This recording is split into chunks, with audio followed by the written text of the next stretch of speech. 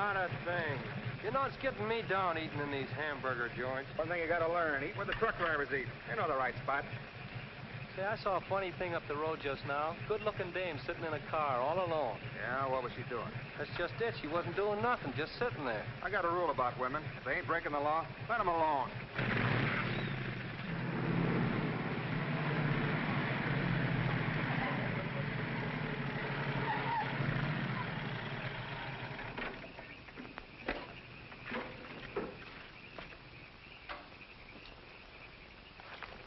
Didn't mean to disturb you, miss. Just wanted to be sure everything was okay. Excuse me, lady, but are you sure you're all right?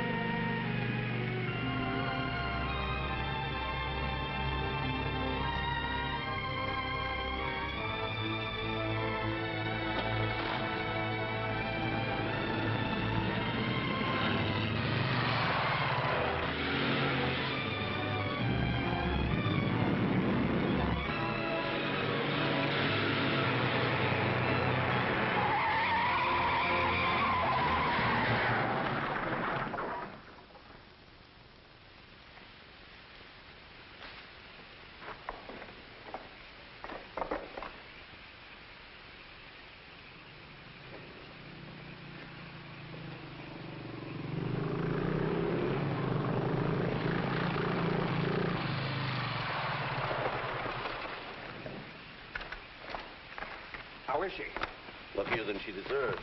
I just checked on her up the road. She was acting kind of strange then. I better call that ambulance. I doubt if it's serious, and I'm as good a doctor as you'll find at this time of night. Let's take her inside.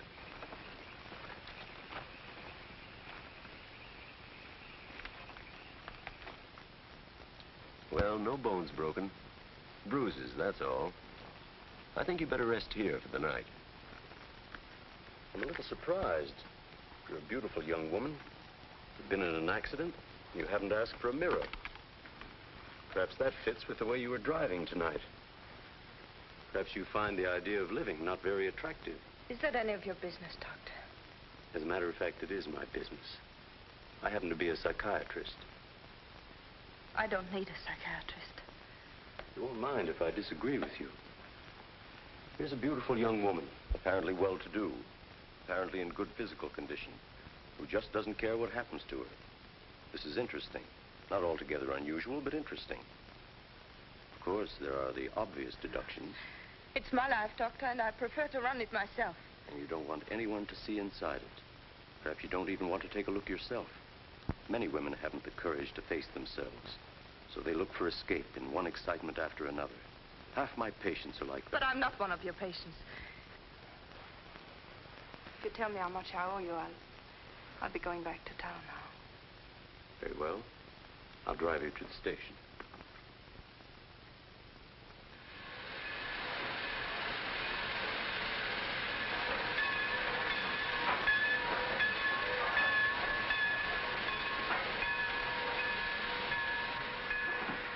Miss Damien, you're an intelligent woman, not an idiot. Will you promise me one thing? When you get ready to throw yourself off Brooklyn Bridge, will you come and see me first?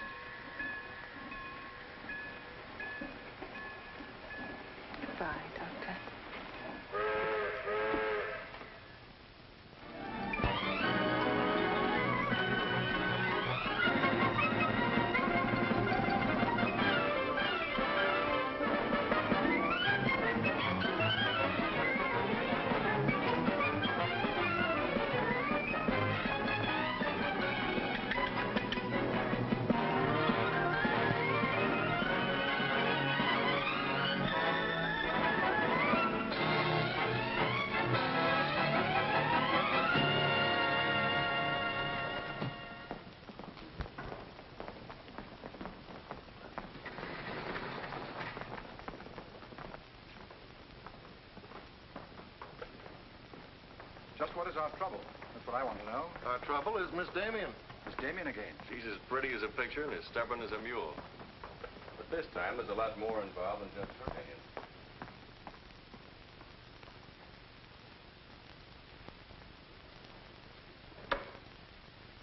Come in, Miss Damien. We were just ripping you up back a little bit. So I gathered. It nothing personal. It's about Mr. Cortland. Cortland? Oh, yes. He runs a jewelry store. He owns Cortland and Company. London, Paris, Fifth Avenue. You may remember him as one of our biggest advertisers. Oh, what Shirley wants to say. I know what Shirley wants to say. I always know what Shirley wants to say. He wants to know why I killed the art layout on Mr. Cortland's famous jewels.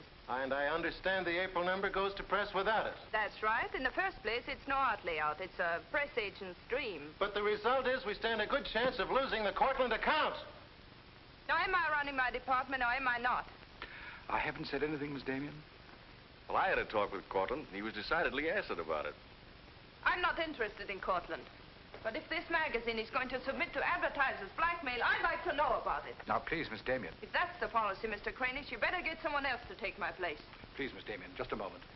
Gentlemen, if you don't mind, I'll talk to you later. I thought I should bring this to your attention. You can't blame us for trying, Mr. No, no, no, of course not. No harm done, gentlemen.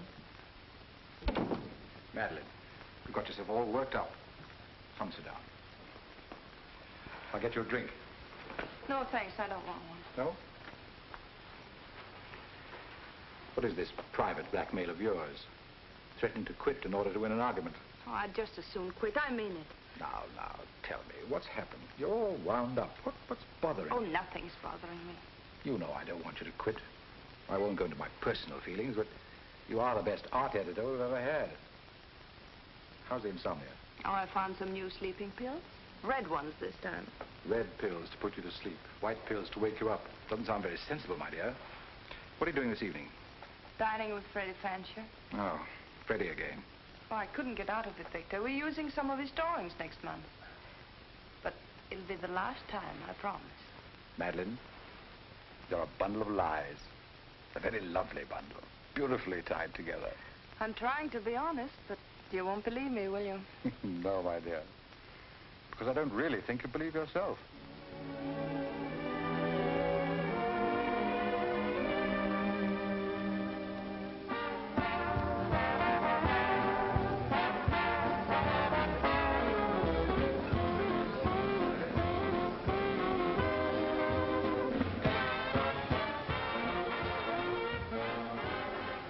Why do you have to go back to that bore, Freddie Fancher?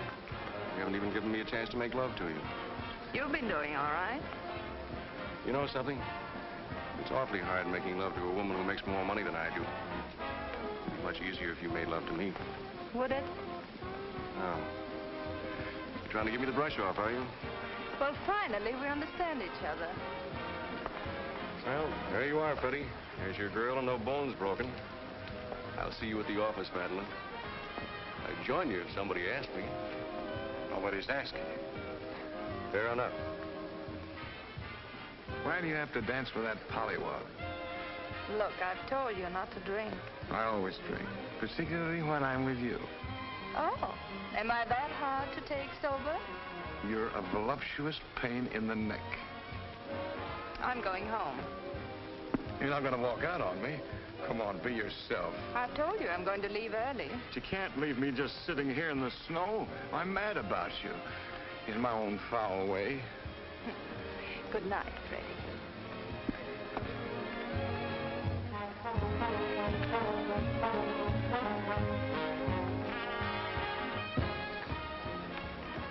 Chance of getting a cab, Jim? I'll try, Miss Damien. Oh, Miss Damien, here's someone I know you're anxious to meet. Mr. Felix Cortland, one of our most prominent advertisers. How do you do, Miss Damien? How do you do? Mr. Garrett is the soul of tact, don't you think? He's just been telling me all about you. Oh, I hope he wasn't that blunt. Oh, you needn't worry. I always form my own conclusions. Can I give you a lift anywhere? My car's just outside. No, thank you. They're getting me a cab. Oh, I'm very sorry. I'm sorry, Miss Damien. There isn't a cab around. Oh, how long do you think it'll be? That's hard to say.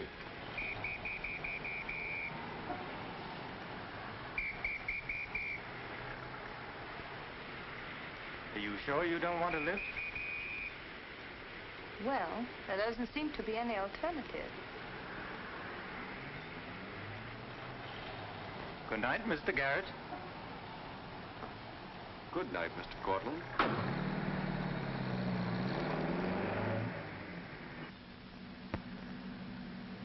I wasn't very polite, was I? Neither was Garrett, for that matter. Oh, he always enjoys uncomfortable situations. You still feel uncomfortable? No. Frankly, I don't. Good, nor do I. You know, you're not at all what I imagined. No? No. The big international jeweler. I happen to inherit a business that runs itself very nicely. As a matter of fact, you don't look like an art editor. More like a work of art. That layout on your jewels is still a wretched piece of copy. I can only admire your good taste. And I'm still not going to. I wouldn't try and persuade you for the world. Mr. Cortland, I think you're a very dangerous man. I only wish it were so. The truth is, I'm a very ordinary one.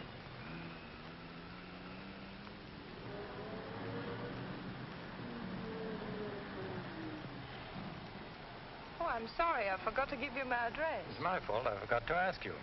Won't you come in for a minute? Uh, no, I don't think so. Oh, but you really must see those jewels you've been insulting. They're much handsomer than the photographs. I'll need you in about 15 minutes. But I said I wasn't coming in. Oh, yes, so you did.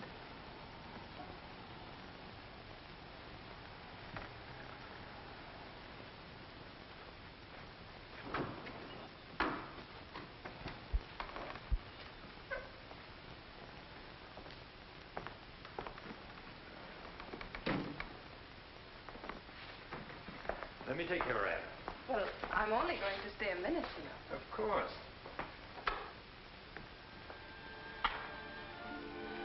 What a wonderful room. I've had this place a long time. In fact, I'm pretty disgustingly rich. Don't you find that rather pleasant?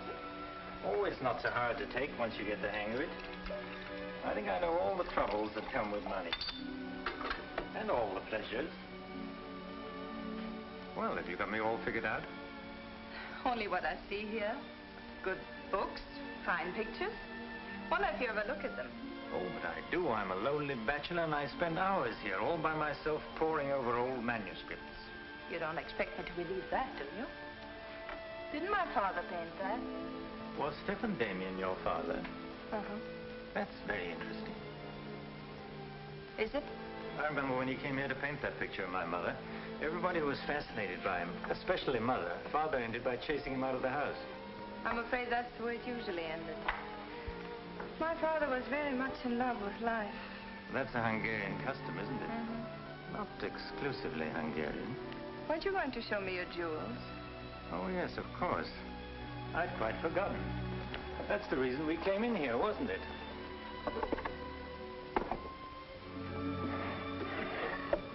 You ought to feel very flattered, Miss Damien. This safe is one of my darkest secrets. You really want to see those jewels? Not particularly. I can't tell a brilliant from a diamond. Not one person in a hundred can. But then very few people are intelligent enough to admit it. Thank you. How about another drink? No, thanks.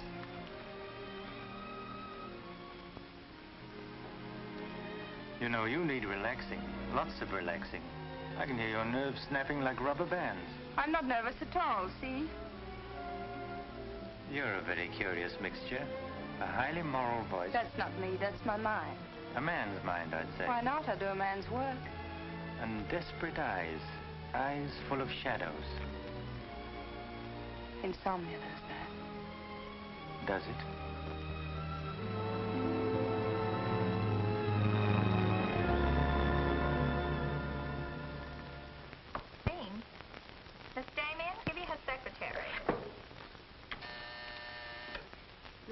Office? No, Mr. Cortland, she's not here yet. Shall I have her call you? Yes, Mr. Cortland. Where's Glamour Puss? She hasn't come in yet. Well, who sent these? Mr. Felix Cortland. Mr. Cortland. It's very interesting. She never misses, does she? Mm-hmm. Jealous. If I'd given it any thought, I could have predicted it. Gladys, I won my bet. She's got a new boyfriend. I guess those dames gotta have new excitement all the time. Yeah, here today, gone tomorrow. Personally, I don't see what she sees in it all. Is that any concern of yours? No, Miss Damien. I didn't hire you to gossip about my private life. No, Miss Damien. Go get your money. You're through.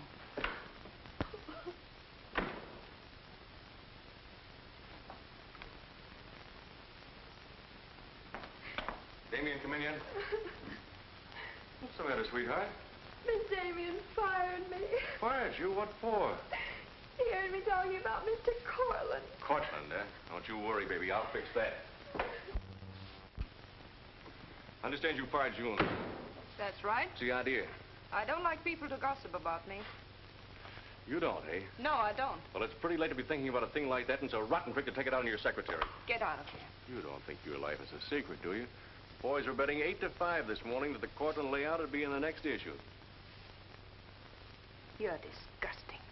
Madeleine, why don't you get wise to yourself? Everybody else is. One romance after another. That's your whole life, and you adore it. Get out. You try to dress it up with pretty words, but you don't fool anybody. They know what you are, and you'll never change. Get out! You don't care because it's too much fun.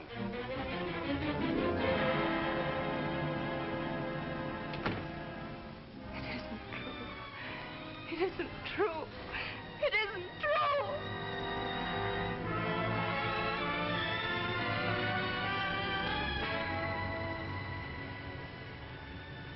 I'm a little surprised. Here's a beautiful woman who just doesn't care what happens to her.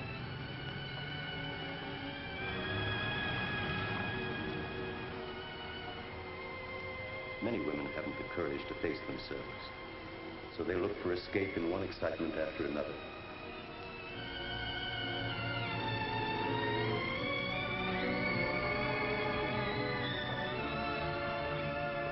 Perhaps you find the idea of living not very attractive. Lady, if you want to kill yourself, why don't you try the fridge?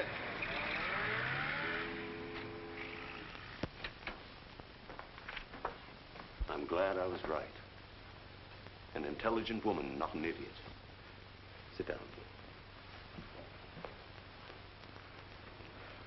That's it.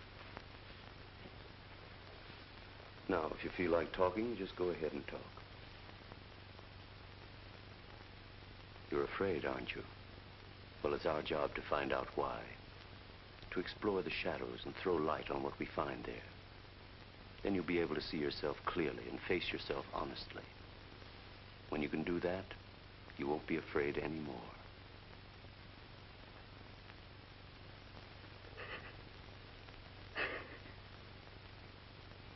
I was living with my father. Mother had left him before we came to America. I was ten.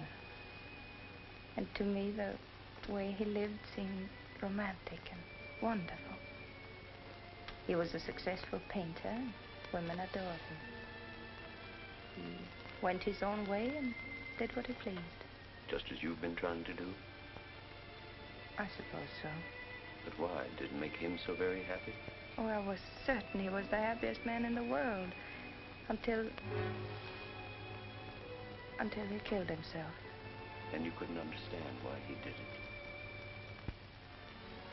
You understand now? I think I do. Did you ever do any painting yourself? I used to. Why'd you give it up? Oh, didn't pay enough. And besides, I didn't want to be like my father. I wanted my own life. And have you been living your own life? Of course I have. The kind of life you really want? I don't know. I don't know.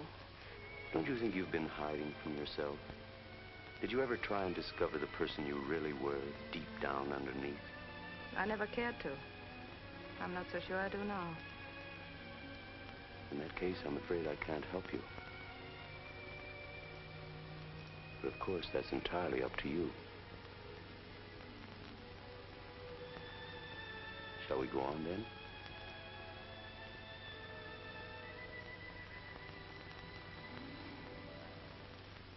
I was doing what I wanted to do. Paying my own way and making my own rules. Nobody was hurt. Nobody but yourself. And it didn't really make you happy, did it? Wasn't that because down underneath you knew there was something missing? Something important? I suppose so. That would worry you, wouldn't it? And then you would drug yourself with the excitement of more excitement. Oh, I know the pattern, Miss Damien. You're suffering from a disease of the times. A neurotic malady as commonplace as chronic alcoholism. Suppose for a moment that you were an alcoholic. They're much the same, you know. Unsure of themselves underneath. and seeking reassurance from new excitement. Instead of getting at the cause, the drunkard solves his problem by taking another drink. This, of course, is no solution. And eventually, we find him sprawled hopelessly at a bar, without the strength or even the desire to save himself. I can't go on with this. You're not helping me. You're insulting me. You've been insulting yourself, Miss Damien. Insulting your body and insulting your soul. Your life hasn't been gay and glamorous at all. It's just been muddled and senseless. You know that now. And if you really want to change it, you can start right away. Now it's up to you.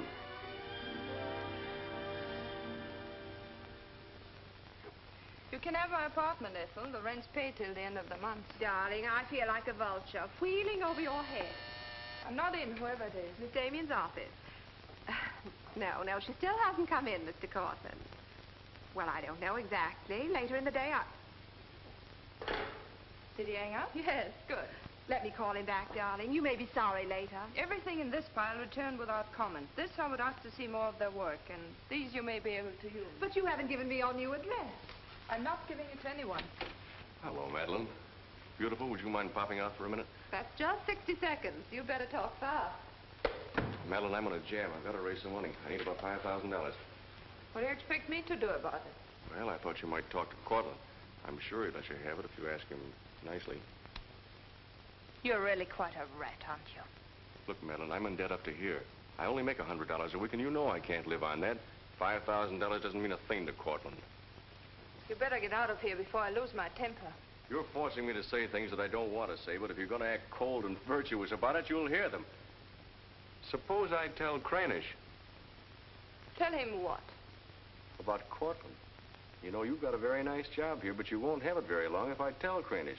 I don't want to tell him, but... What's so funny? As a blackmailer, you are pitiful. Go on, tell him. Tell him what a rat I am, and you are, and he is. Go on, use my phone if you want, and my desk, and my office. I'm through with all of them.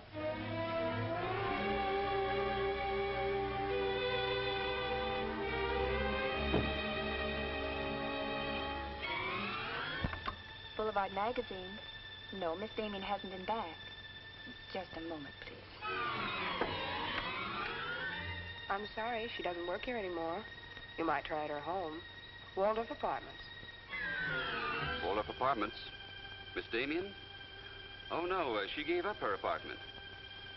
Uh, why don't you try the post office? Dahlgren? Dalton? Dalton? Damien. Here, Richard Caleb, 137 West 50th Street.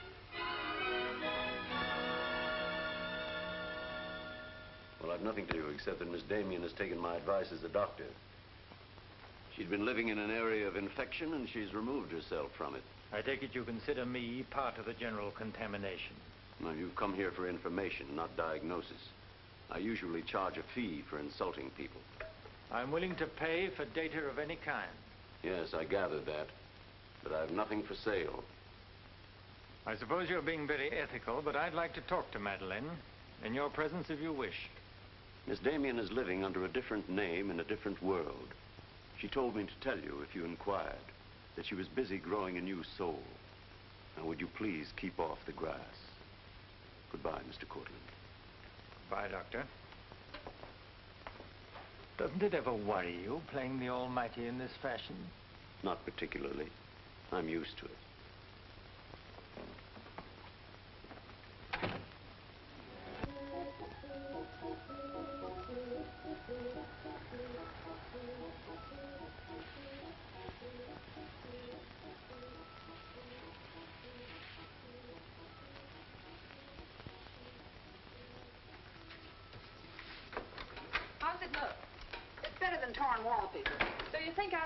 Then? You'll do better after you get the hang of it. I only hope the new tenant will like it. Well, he seems awful particular. He's a floor walker at Macy's. Oh, well, you can always give it back to me. He'll never sell it, you know. Take my advice and try something more cheerful. You know, like flowers and butterflies. I'll do that. Thank you, Mrs. Geiger.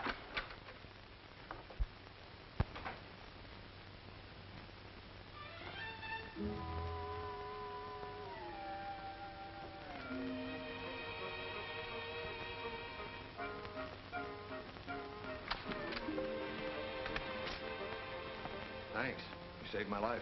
Is this yours? Yes. Mrs. Geiger would scalp me if she knew I kept mice in my room. Well, why do you keep mice in your room? Hmm? Oh, uh, pathologist, part of my homework. I really shouldn't bring these fellas out of the lab, but, well, I got kind of attached to this one. Now, thanks again. Hey. Women are supposed to scream. Aren't you afraid of mice? Well, no, but next time I'll scream.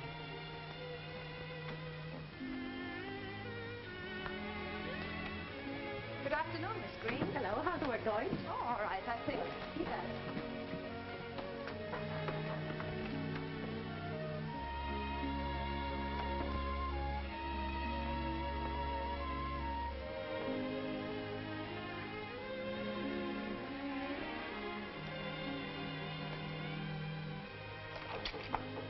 Come in. Hello. Hello. Say, you're an artist, aren't you? Well, I don't know. Oh, Mrs. Geiger said yesterday that you were. She's an authority if I ever saw one. I was wondering, could you do a job for me? Want your portrait painted? Me? Oh, no. No, nothing like that. I'm doing some research, and it has to be illustrated. Oh, what do you want me to draw? Nothing fancy, just blood cells and uh, things. Sounds fascinating. Oh, it is, really. You see, it's a lot like... Oh, no, no, you'd be surprised. It really is fascinating once you get in it. Course, I'm on a fellowship, and I couldn't pay you very much. Matter of fact, I, uh, I couldn't pay anything till the first of the month. That'll be all right. Oh, fine, swell. It's all settled then. I'll see you at my place about 6 o'clock. Oh, but I couldn't I... Oh, sure you can. I just live downstairs.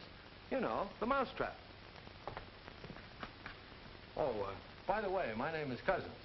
Uh, mine is Dixon. Very glad to know you, Miss Dixon.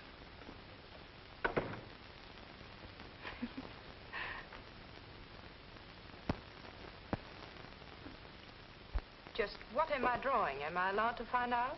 Sure. Effective anti-reticular serum on cell tissue. That's all I wanted to know. Oh, say, say, that's quite good. I'll take it to the lab with me in the morning. Hmm, just about ready for the next one. Do you realize it's 12 o'clock? Oh? I haven't had my dinner yet. You haven't either. Oh, gosh, I'm sorry, but well, I, get, I got so wound up on this. So did I, but now I'm hungry. Well, I tell you what let's do. We'll go out and eat. That's a brilliant idea. I'll get your coat. Do you do this all the time? Only since I got out of the Army. I was lucky to get this job of research. Now I've got to get it finished. Then what? Oh, then I go back to Oregon and become the usual respectable small-town doctor. No mice? No. No mice. Head colds and belly aches. Five dollars a visit. Maybe you'll like it. You'll get some rest. Oh, I'll get plenty of rest, all right, but I don't think I'll like it. You folks going out this time of night? That's right. We're meeting a few friends at the Busy Bee cafeteria. We don't want to miss the floor show. We'll have to hurry. See that he eats. He hasn't got any more sense than a goose. I'll feed him with a spoon.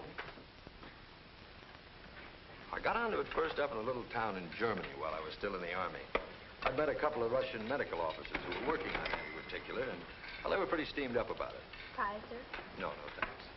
We got together the first night over a bottle of vodka.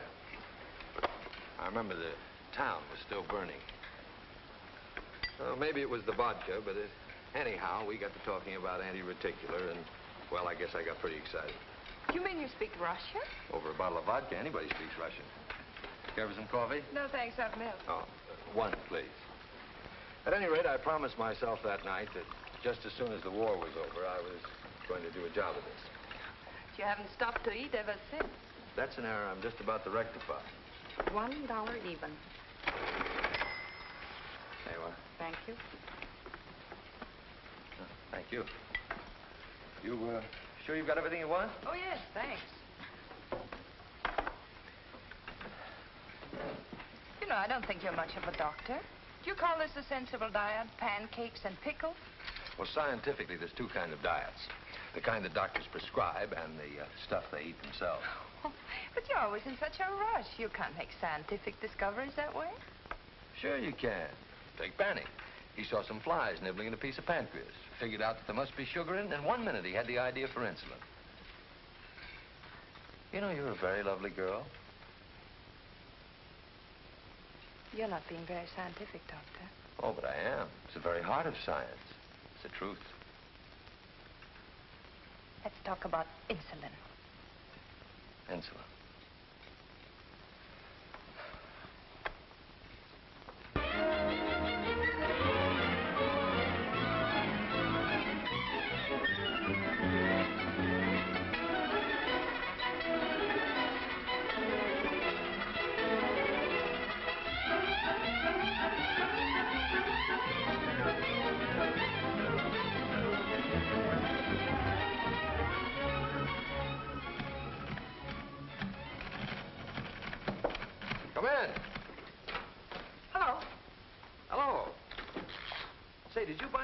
Manuscript covers?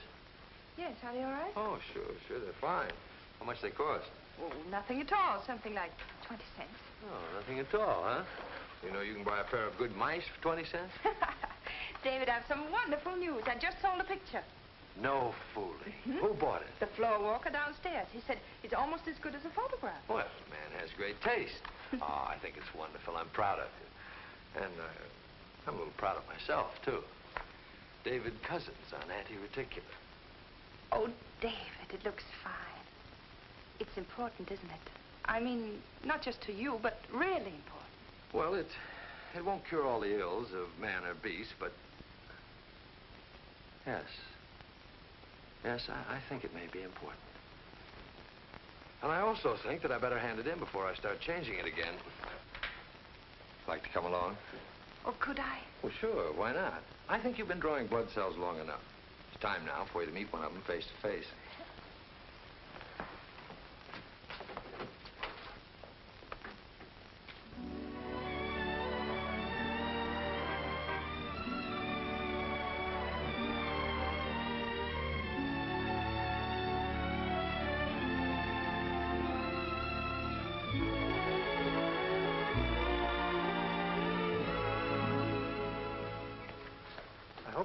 Text is as good as your illustrations. I hope so, too, sir.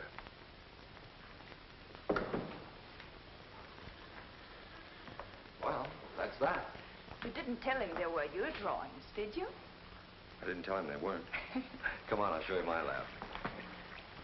Hmm, coffee. I wouldn't try and drink it if I were you. Assistant pathologist.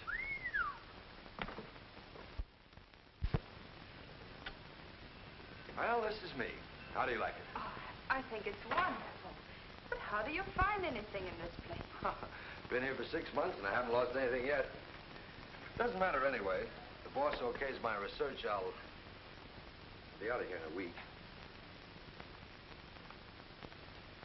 Back to Oregon?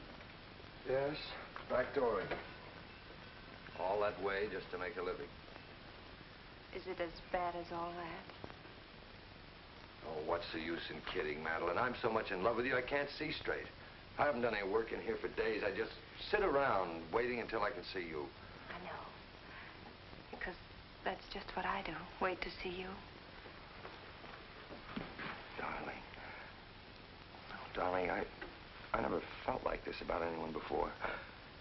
Tell me, when did you first know? Oh, when I first saw you, I think. Yeah, me too. I'll never forget you standing in that hall with a mouse in your hand. Only I, I didn't know then what was happening. I thought I had the flu. Will you marry me? Oh, David. Well, will you? We don't know each other. I mean, you don't know me.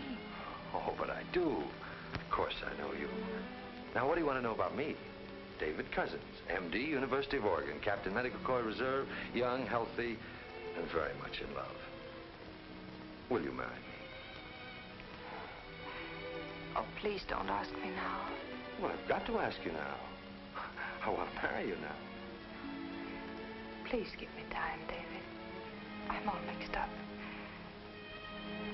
I'd like to go home now.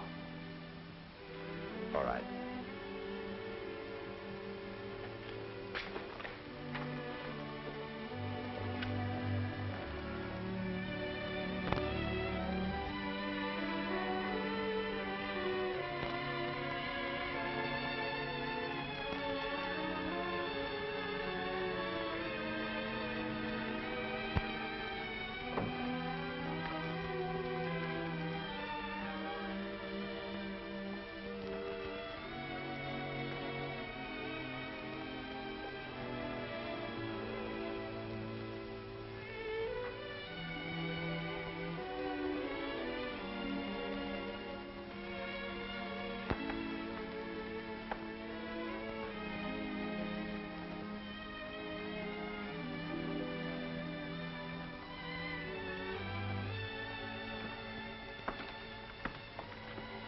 Madeleine.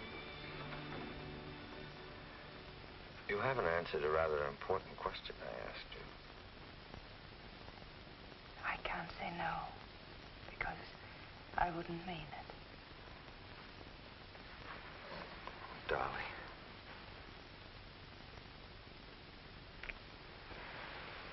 David, I do love you.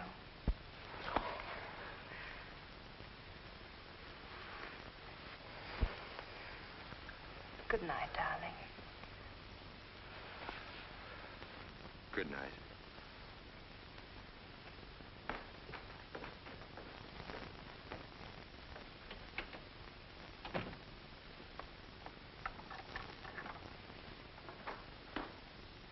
Hadn't you better close the door?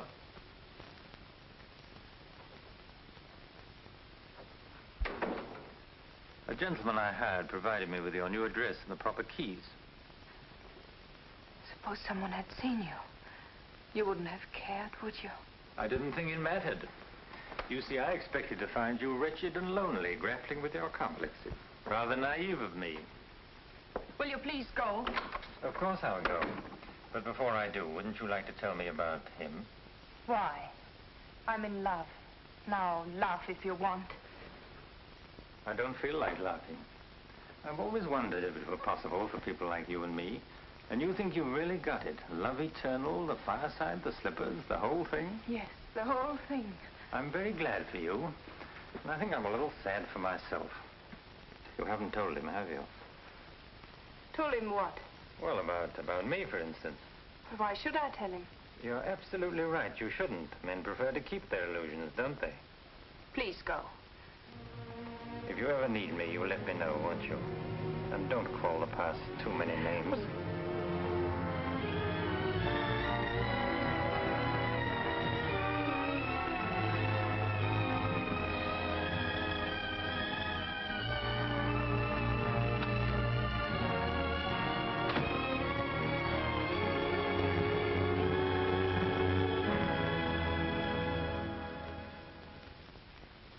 Care what you say. I'm going to marry him just as soon as it can be arranged.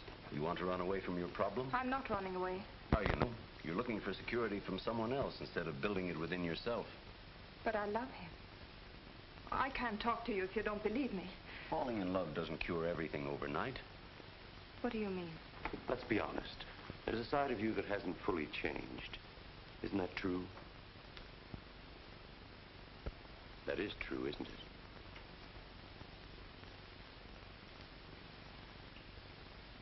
Yes.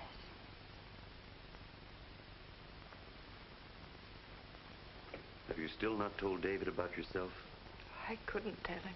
You let him fall in love with an illusion, with someone who doesn't exist. I could never tell him. He might stop loving me. Isn't that a risk you'll have to take? You're being very careless about it. You can't build a lifetime relationship on a lie. If you're really in love, you'll tell him. With the others, it was different. But if you love him, Will you please stop saying if? How many times must I tell you I love him? but real love is a sharing. If you're strong enough to face this yourself, you're strong enough to face it with David. Oh, I can't do it. I can't risk the only happiness I've ever had. That's up to you, Miss Damien.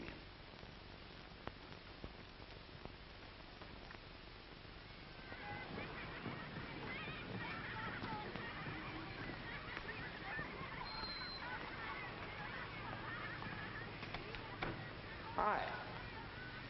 Hello, darling. You're home early, aren't you? Well, I didn't get fired, if that's what you mean. Dr. Lutz read my paper. Really? What did he say? Well, he, uh, he liked it. Oh, David, that's wonderful. The only trouble is he thinks it's so important he wants me to go to Chicago and read it before the convention. Oh, David, no. Well, that's not my idea. I don't want to go. Well, when will you have to leave? Tonight, gotta catch the 8 o'clock plane. And when will you come back? Oh, I don't know, a few days. But I'll tell you what, as soon as I get back, let's get married. You can get a license in three days, and it only takes 15 minutes to get married. Hmm, you still want to marry me, don't you? Oh, more than anything in the world.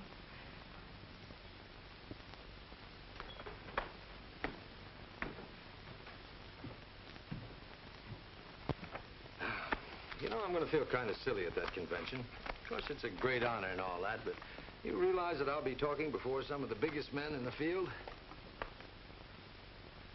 What's the matter, darling? Nothing. I was just thinking how I'd feel if you didn't love me. Oh, don't be silly. Not a chance. David, could you ever stop loving me? Oh, that's really a gruesome thought. Of course not. Even even if there was a reason? The world is bothering you. Nothing.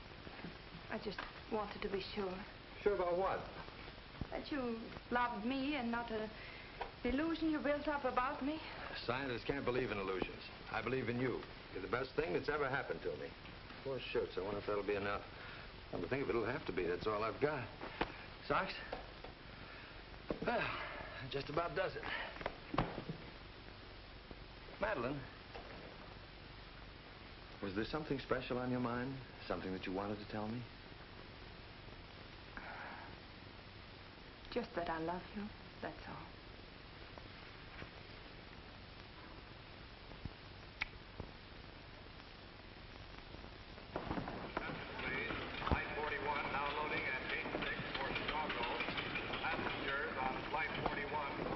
Write me every day? Every day. Hope you miss me. Hope you suffer like a maniac. I will, I promise. Oh, gosh, I hate to leave you. You know, I'm going to be jealous. Jealous of what? Oh, I don't know. Nobody, everybody. Just jealous. Darling, I belong to you, don't you know that? I'm only alive because you love me. We'll be married the minute I get back. Well, look who's here. If it isn't Madeleine. How are you? It's been a long time. David, this is Mr. Garrett. I used to work with him on a magazine. Howdy, Garrett. I quit the racket, though, or perhaps the racket quit me. Garrett's doing some confidential work for me now. How are you, Miss Dixon? This is Mr. Cortland, David. Dr. Cuss is my fiancé. You're a very lucky man, Doctor. I think so. Well, um, goodbye, Miss Dixon. My congratulations to you both. Oh, thank you. Good night. Good night. I don't believe a minute of it, do you? Garrett, you're a very cynical man. You don't believe in true love. You don't think Madeleine does either, do you? I don't know, but I've always been fascinated by miracles.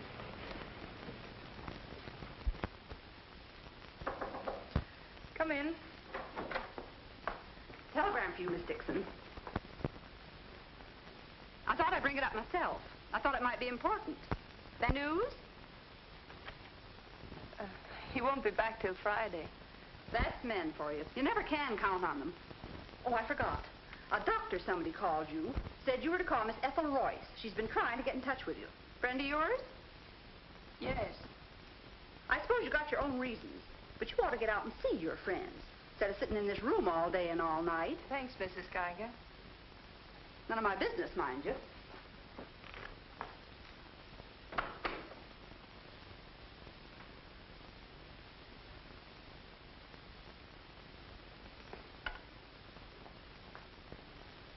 Ethel, this is Madeleine. Madeleine. Darling, but this is really a voice from the dead. I pestered that doctor of yours for hours. I just have to talk to you.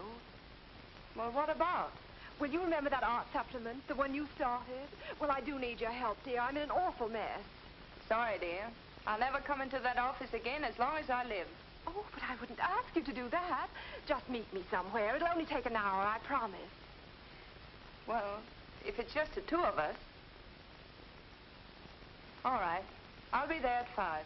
Oh, so relieved. We were really desperate. Wonderful. I'm just dying to see you. Bye, dear. She'll do it. Good. Wonderful thing, professional pride. It never dies. How'd you sound? Awful. What do you expect? Too bad. Victor, I don't want you to be there. Wouldn't think of spoiling your reunion, my dear. I don't trust Madeleine, doctor or no doctor. Nor you either, my sweet.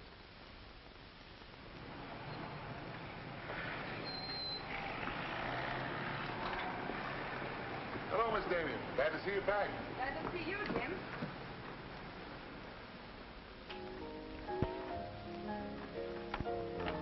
Hello, Luigi. Is Miss Royce here? She just came in, Miss Damien. We missed you, Miss Damien. Have you been away? No, but it's nice to be back just the same. Hello, Ethel. Darling, you look wonderful. A little pale, but so interesting. You know, I can't stay very long. Oh, I understand, dear. We'll get right to work. The usual, Miss Damien? Well, I don't know, Carl. You'd better. Wait till you see the mess I'm in with the supplements. All right, Carl. Darling, I'm just dying to hear what you've been up to. You must tell me everything. But there's nothing to tell. Come on, let's go to work.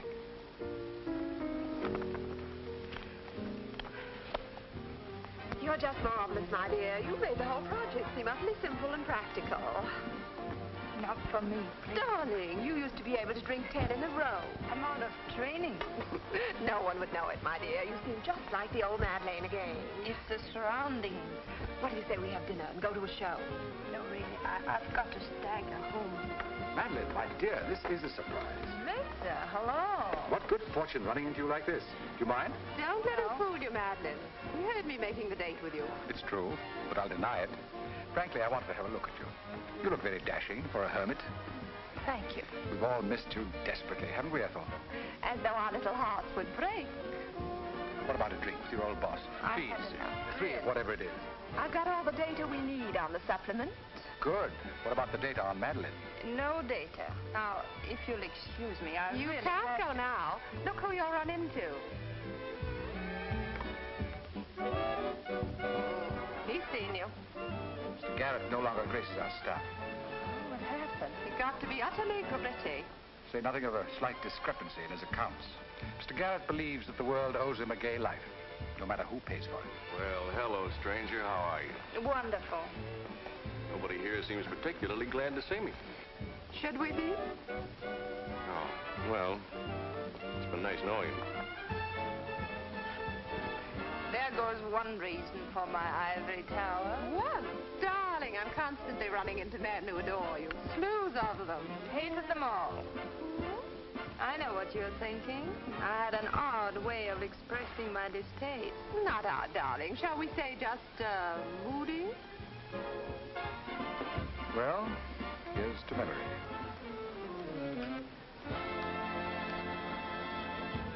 May I speak to Mr. Cortland, please? Just a moment, sir.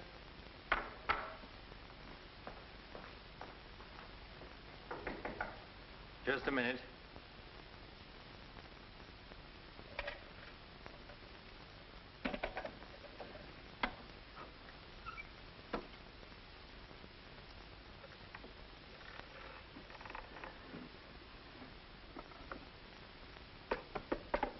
Come in.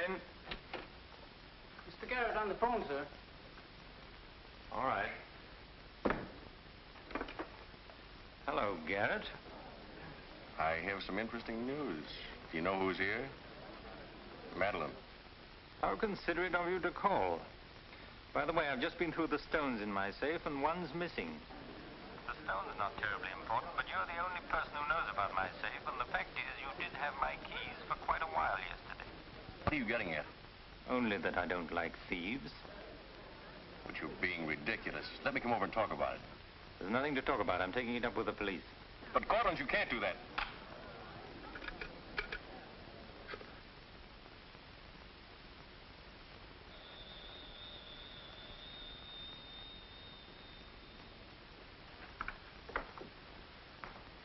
Mr. Garrett again, sir. Tell him I've gone out. I'm sorry, Mr. Cortland has just left.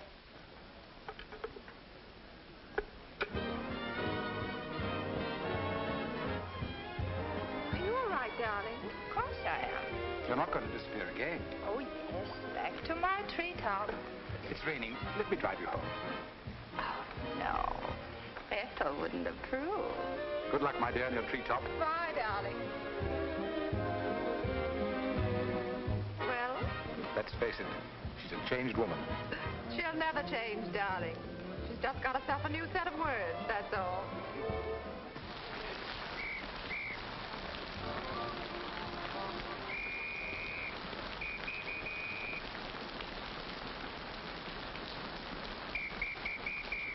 Madeleine.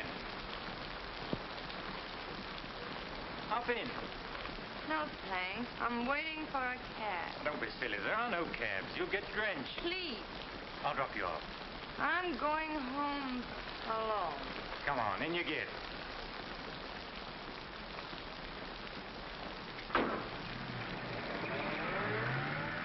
I hope you didn't get too wet. Your concern is touching. Quite a coincidence finding you in the rain. Is it? I can't lie to you, especially when there's no point to it. I was informed you were playing hooky. You're detestable. I'm really not detestable at all. I happen to be very fond of beauty. Which shouldn't be a crime in your eyes. Please, no debates. I. I'm a little dizzy. A good dinner will soon take care of that. Why do you always hound me? You know I despise you and everything you stand for. There's always a chance I may be able to improve your opinion and your manners. I'm sleepy. You know you're very lovely. Please don't bother. I'm not listening.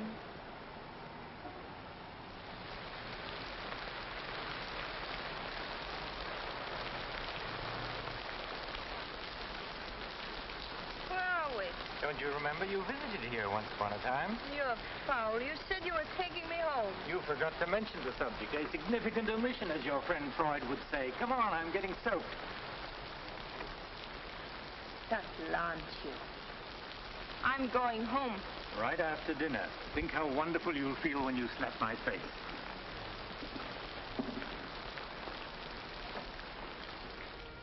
That'll take the chill out of your bones and maybe even your heart. Still cold? Oh, no. It's quite warm in here. Cigarette? Thanks. Very warm. Light? No, I'm not really detestable, am I? No. I am. Why? Because I ought to go home. In this rain, you mustn't even think of it. You see, you are detestable. And you've been very annoying for months. Mm-hmm. Madeleine, we belong together. You know that. No, I don't know of that. Of course you do. We feel the same way about mm, life. You're not making sense, Mr. Courtney. Why make sense? Doesn't this make more sense than talking and lying? No sense at all. Then what would you call it, darling? Stupid. Madeleine, you're wonderful. Stupid. You're sweeter than Stupid. ever. I'd better see who it is.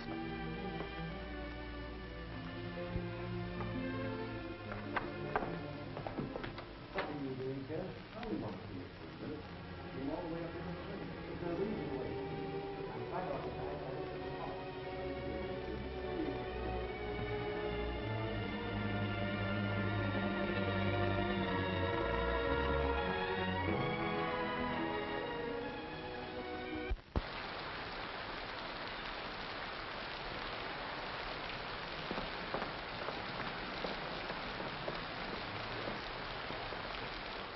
Tell you, I'm going to raise the money. I'll pay you, honestly. I don't like dealing with thieves. That's a job for the police. You swear out a warrant, you'll never get a dime. Look, I didn't sell it. I just had to have some money temporarily. Here's the pawn ticket. I'm not interested in pawn tickets. Good night, But. Carter, you've got to give me a chance. I said good night.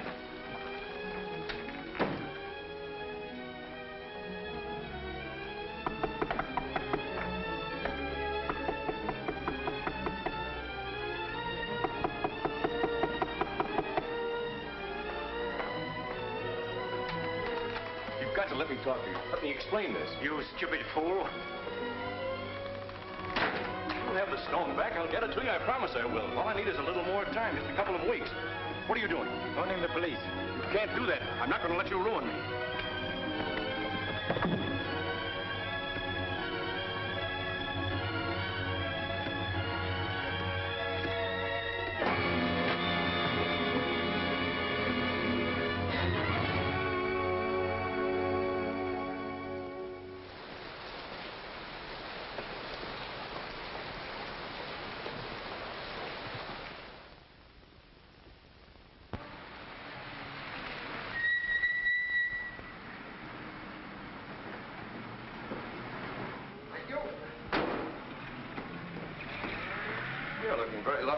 Mrs. Geiger. You wasn't expected back until Friday. That's what I like. A cheery welcome home. Miss Dixon upstairs? I haven't seen her this morning. Who is it?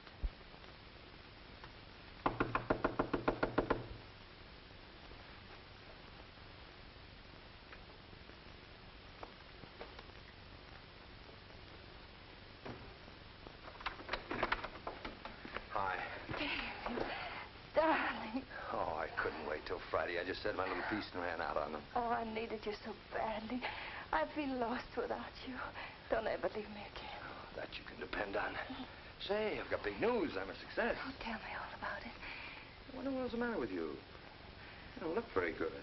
Come on, I think you better get back in bed.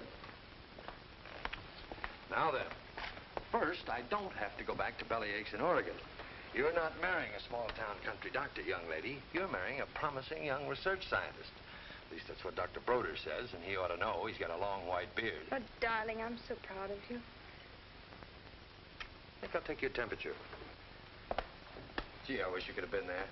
When I finished reading my paper, they all got together and offered me my own laboratory in California. I still can't believe it. There it is, right in the paper. You'll find it on the bottom of page 10.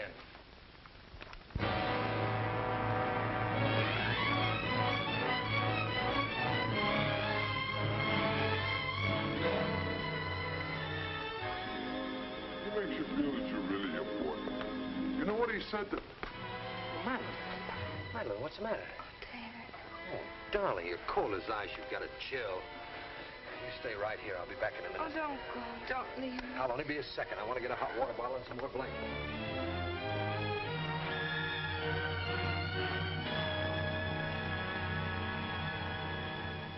Miss Madeleine Dixon at home? I don't know. Friends of hers? We're from police headquarters. Where's the room? Upstairs. What do you want to see Miss Dixon about? We'll tell her. Well, perhaps you'd better tell me first. Miss Dixon isn't well. Who are you? He's a doctor. He lives here. If it isn't important, I suggest you come back tomorrow. It's important. Could you get some extra blankets and a hot water bottle, please? You a friend of Miss Dixon's? Yes, why? Just asking. Well, what is it, an accident or something? I wouldn't call it an accident.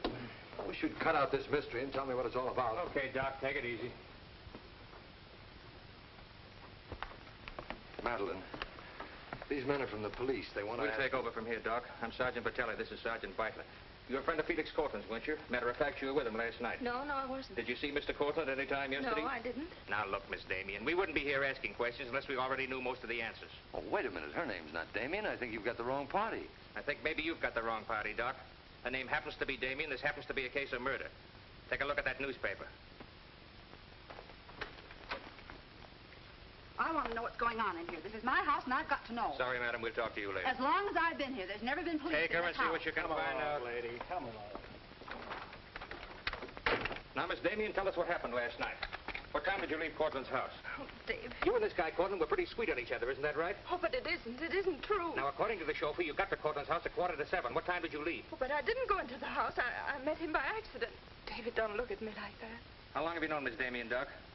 Not very long, only a few months. Know that she was mixed up with this guy, Cortland? Oh, but it's a lie. David, it's a lie. Okay, so you didn't go into the house with Cortland? No, I didn't. He wanted me to come to the house, but I, I wouldn't do it. Oh, I didn't go into the house. I didn't, I tell you. Who you telling, me or the doc here?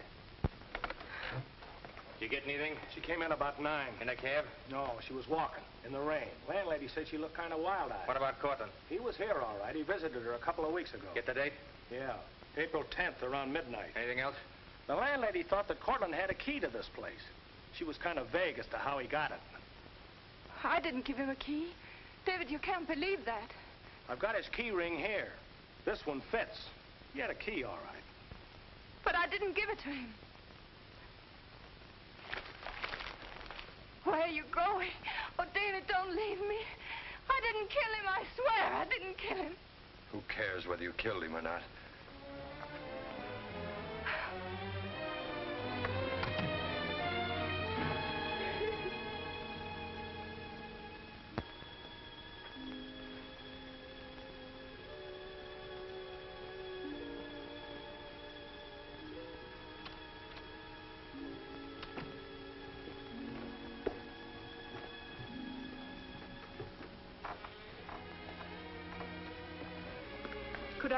For just a minute? Well, it isn't regulations.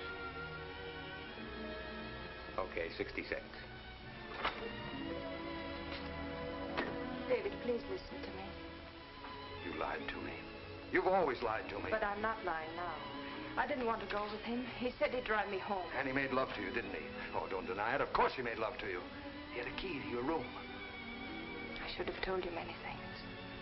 I tried to, but I, I just couldn't. If this thing were so innocent, you would have told me. When I said I was in love with you. When I asked you to marry me. I was afraid, David. I was afraid you wouldn't understand. You bet I wouldn't. Before I met you, I, I was horrible. But you changed all that. You made me sane and happy. Why keep on lying? You tried that upstairs and it didn't work. Look, I was in love with you. All right, I made a mistake. I thought you were something wonderful, and you turned out to be something else.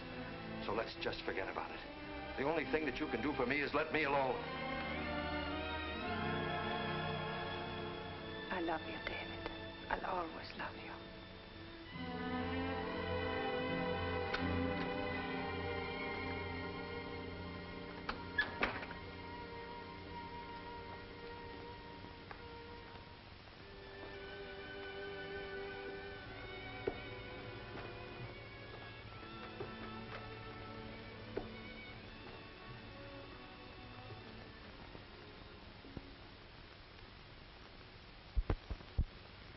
So, ladies and gentlemen of the jury, the prosecution will prove beyond a shadow of a doubt that Madeleine Damien is guilty of the premeditated murder of Felix Cortland.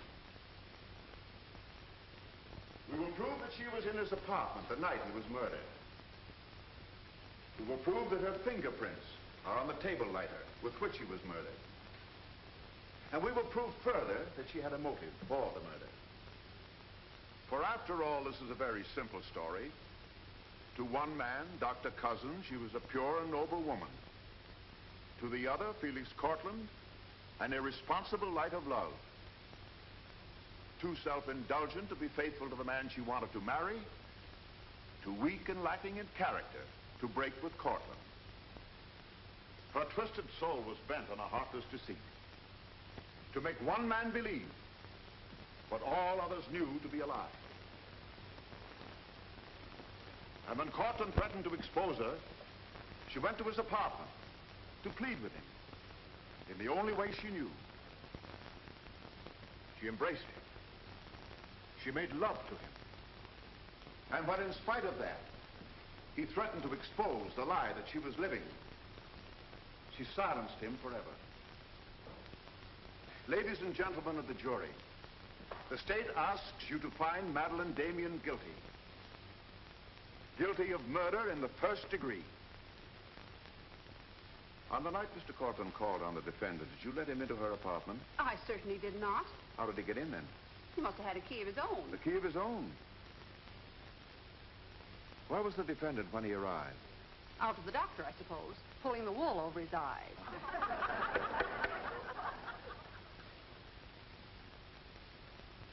Thank you, Mrs. Geiger. Your witness, Mr. Mitchell. You've got to let me cross-examine her. No questions. Miss Damien, I can't defend you properly if you won't let me. We've got to put up a fight. Fight? What for? And now, Mr. Garrett, just what was the nature of the work you did for Mr. Cortland? Well, most of it was personal. Confidential secretary, I suppose you'd call it. And in that capacity, you were in a position to learn a great deal about his private life? Yes, of course. Did Mr. Cortland know that Miss Damien was lying to Dr. Cousins and concealing her true character from him? I'd rather not answer that question, Mr. O'Brien. You see, both Miss Damien and Mr. Cortland were, were friends of mine. Yes, I understand.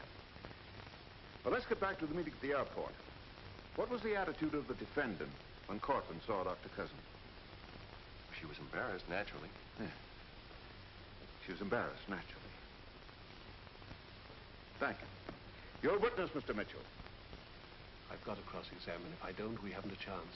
Don't ask him anything. No questions. Were you a close friend of the defendant? Yes, I was. Did she confide in you on matters of a personal nature? Yes, she did. If you were asked in this court, do you think you could recall any of those intimacies? I could recall some of them in uh, no detail. Your Honor, I object. Objection sustained. Well, let me ask you this, Miss Royce. Would you say in general that men found Miss Damien attractive? Definitely. And would you say that Miss Damien found men attractive to her? I'm afraid I most certainly would. You would. What were the relations between Miss Damien and her former employer, Mr. Cranish? They were uh, friendly. In your opinion, was there anything more than friendly? I object, Your Honor. The question calls for the conclusion of the witness and is prejudicial. Objection sustained. Cousins, I'm Dr. Caleb. Miss Damien's a patient of mine. I don't happen to think she's guilty of murder, do you? No, I don't. She may be guilty of other things, but in there she's being tried for murder. And she won't even defend herself. She's got a pretty good lawyer, hasn't she? She needs your help, Doctor. In her own mind, she's not on trial for murder. She's on trial for those other things. And it's not the judge who's trying that case, it's you. I don't want to be rude, Doctor, but I don't think you know what you're talking about. I'm sorry to disagree. You see, I've been treating Miss Damien for some time. I happen to be her psychiatrist. Dr. Caleb. I'm sorry to have bothered you, Doctor.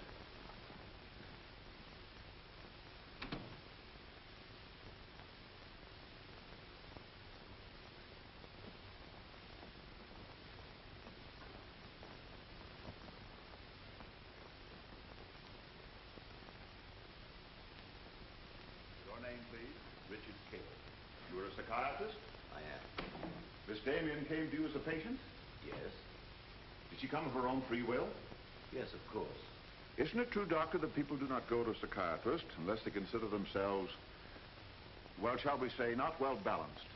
In general, that's correct. As a matter of fact, wasn't Miss Damien on the verge of committing suicide when she made her first visit to you? Your Honor, I object. Well, no matter. We'll prove that by other witnesses. However, is it not true that people who come to you as patients come with problems? Objection. Objection overruled. Well, Doctor? There'd be no point in their coming to me if they didn't have problems. So the defendant came to you with a problem. Do you mind telling us, Doctor, in your opinion, just what was Miss Damien's problem? That is a confidential matter between doctor and patient. I'm afraid I can't discuss it. Well, during the course of your treatment of Miss Damien, did you ever discuss her relationship with Dr. David Cousins? Yes, we did. Well, bearing in mind the fact that she's engaged to be married to Dr. Cousins, do you think she was as frank with him as she should have been? As a matter of fact, I urged her to tell him everything. And did she? Not to my knowledge. Well, why not, Doctor? Why didn't she? I'm afraid you'll have to ask Miss Damien about that. Did you ever meet Dr. Cousins? Yes, just a few minutes ago. Well, I'm sure you found him a reasonable, intelligent young man, and yet the defendant refused to confide in him. Having met Dr. Cousins, I think I can see why Miss Damien hesitated to confide in him. Do you mind telling us why? It's my impression that Dr. Cousins hasn't the capacity, either emotionally or intellectually, to understand a problem like Miss Damien's.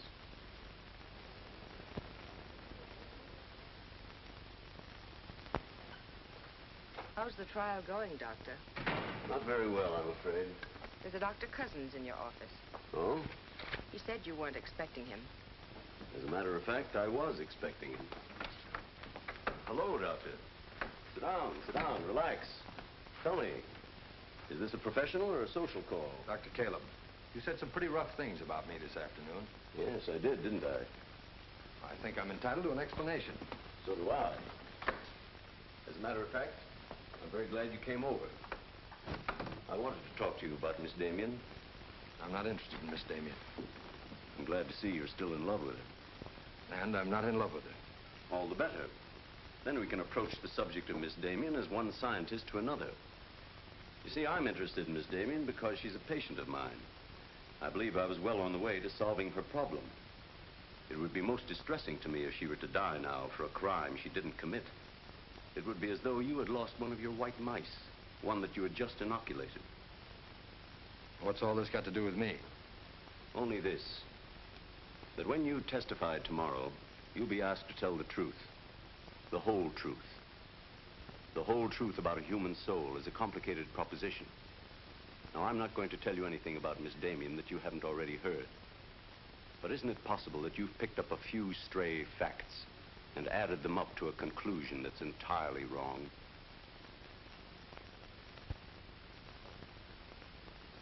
Won't you sit down, Doctor?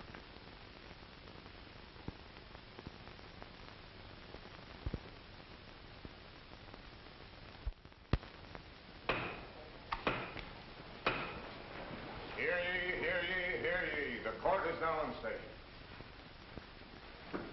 Call your next witness, Mr. O'Brien. Dr. Cousins, please. This'll be their last witness. You've got to let me put you on the stand. I tell you quite frankly, Miss Damien, if you won't testify, we haven't got a chance. Raise your right hand. You solemnly swear to tell the truth the whole truth, nothing but the truth, so help you God? I do. Please be seated. Your name, please. David Cousins. Under what name did you know the defendant? Madeleine Dixon. Did she ever tell you her true name? No, sir. Did she ever lie to you about her identity? Yes, sir. How long did she continue to lie to you? Till the morning the police came. Did she ever tell you about her relations with Cortland? No, she didn't. You proposed marriage to the defendant and she accepted you. Yes, sir. And still she didn't tell you about Cortland. No, sir. When did you first know of the true relationship between them? The same morning, the morning the police came. Oh, I see. Then from the moment you met her until the day she was taken into custody, you didn't know the truth about her character. I object, Your Honor. Mr. O'Brien, haven't you covered your point? Well, Your Honor, I'm merely trying to clarify for the jury the true nature of the defendant's motive. Proceed. Thank you. One more question, Dr. Cousins. If you had known the truth, would it have affected your love for the defendant? Your Honor, I must protest. Let him answer. Objection withdrawn. And now, Dr. Cousins, if you had known the truth, would it have affected your love for the defendant?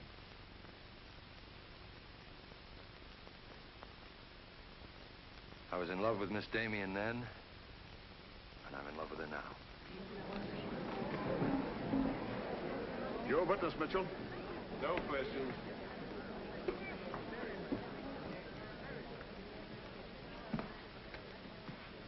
Did you really mean it? Yes, I really meant it. I can't believe it. Now will you let me put you on the stand?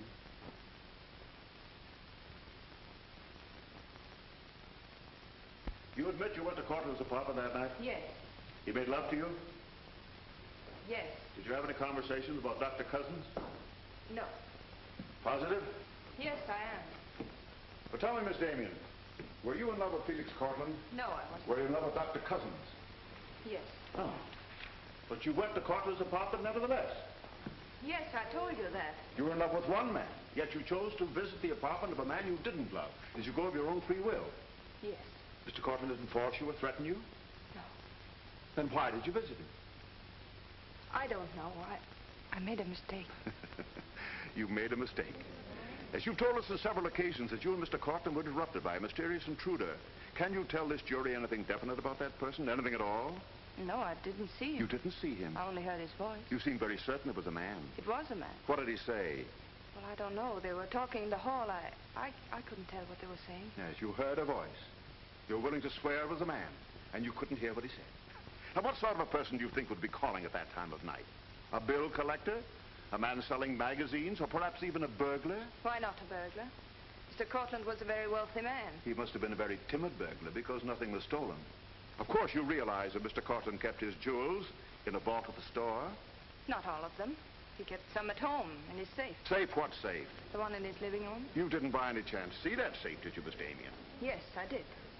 The court, please. This is the first we've heard about a safe. I ask for a recess to examine the apartment. Well, Your Honor, we've been all over the apartment. But if there is a safe, and if it has been robbed... Gentlemen, court is adjourned until tomorrow morning. I suggest the district attorney, the attorney for the defendant, examine the apartment together.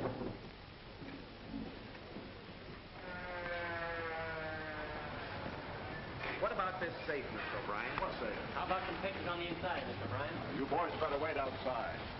I may have a statement for you when I come out. Mr. O'Brien. Huh? Mind if I tag along? I don't know why you're sure. The fine witness you turned out to be. Couldn't help that, sir. All right, Garrett, where's the safe? Me, Mr. O'Brien? I don't know of any safe in here. I didn't think you did. If you want an unbiased opinion, I don't think there is a safe. Well, here's a learned counsel. Perhaps he knows. Where's the safe, Mitchell?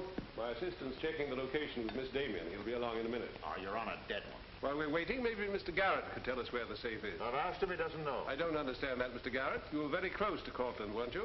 That's right. I'm sure if there was a safe in here, I would have known about it. At least I would have seen the key to it. The answer's very simple. There is no safe. What did you find out? I got the dope on it, Mr. Mitchell. Splendid. It's over here in this bookcase. You were wrong for once, Mr. O'Brien. Could be. What do you know about that? Have you got Cortland's keys? There they are. Thank you. That looks to me very much like a safe, Mr. O'Brien. Yes, it does, doesn't it? But not like a safe that's ever been robbed. I don't think a good burglar would leave those behind. I guess we're right back where we started from. Well, I've seen all I want. How about you, Mitchell? You win this round. Lock it up, sir. Yes, sir. See you in court, gentlemen. Can I give you a lift, Doctor? No, thanks. Sergeant, I have some papers here, Mr. Cortland, I'd like to put in order. Do you mind if I stay? It's all right with me. We're finished with the place. Thank you very much. Anything I can do for you, Doctor? Oh, I was just curious about something. I've never seen a safe like that before. One that operated with a key. Come to think about it, I guess I haven't either.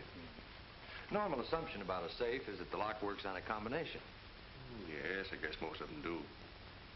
I was wondering how you knew that this one worked with a key. You said you'd never seen the key to it. Did I say that? Uh-huh. I guess I must have said something I didn't mean. Oh, oh, I see. There could be another explanation. Really? Yes. That you were lying when you said you'd never seen the safe before. You're not serious, are you, Doc? I'm a scientist, Mr. Garrett. When we get hold of an odd fact, we consider every possible explanation. We make some of our most important discoveries that way. Well, it must be fascinating work. Yes, it is. Suppose I had known about that safe, which I didn't. What would that prove? Frankly, nothing. But it does suggest a theory. You were very close to Cortland. You knew about the safe. Maybe the safe was robbed. Perhaps he found out about it. He was quarreling with a man in the hall the night he was killed. Maybe that man was you. That's a very interesting theory. Yes, isn't it? Well, as I said, I'm a scientist. When we hit on a theory like that, the next thing we do is to test it. That's all I'm doing. I see. Then you, uh, you won't mind having a little talk with the police? Why, no, no. Why should I? Fingerprints. But then, of course, if you've never seen the safe before, you won't mind them checking it for yours. Oh, certainly not.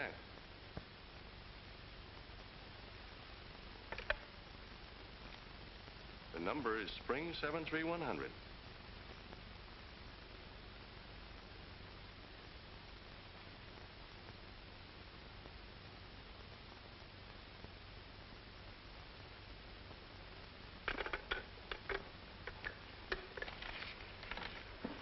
Okay, Doc. No hard feelings. Don't you think this sort of thing is rather out of your line, though?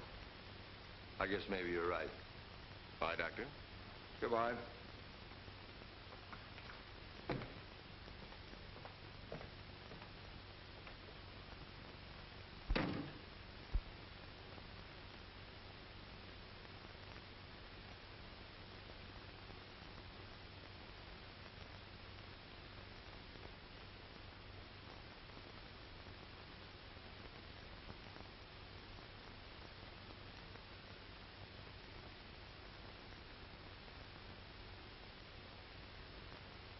Spring 73100, wasn't it, Mr. Garrett?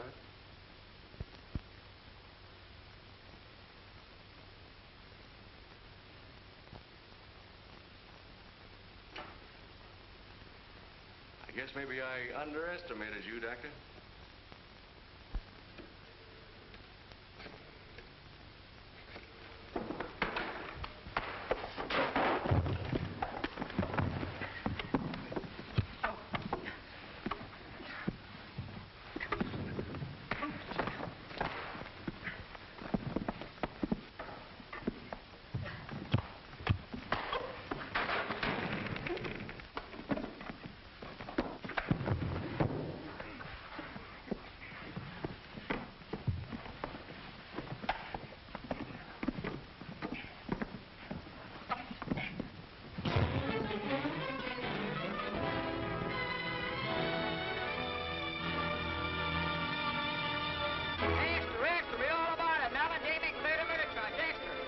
News flashes from the Associated Press newsroom. Bulletin.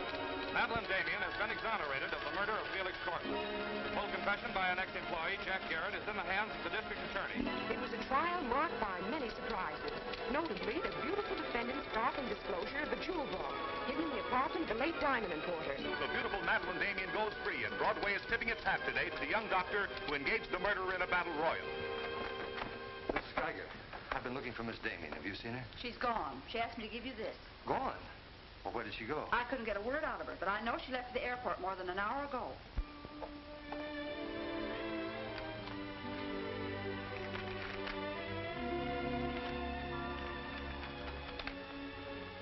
David, dear, I can still hear your voice in that courtroom, and I'll never forget what you said. You did much more than save my life. You made my life worth saving. I can't bear to tell you how much I love you and want to marry you. But right now, that wouldn't be fair. I'm going away for a while. I want to be terribly sure, after all this, that I can really be the kind of person you once thought I was. Maybe after a while that will be possible. And then, when we're both sure, David, please ask me again. Goodbye, my darling.